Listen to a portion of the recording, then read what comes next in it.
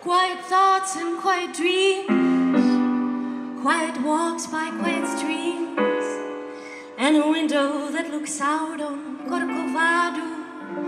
Oh, how lovely! Bye, bye, bye.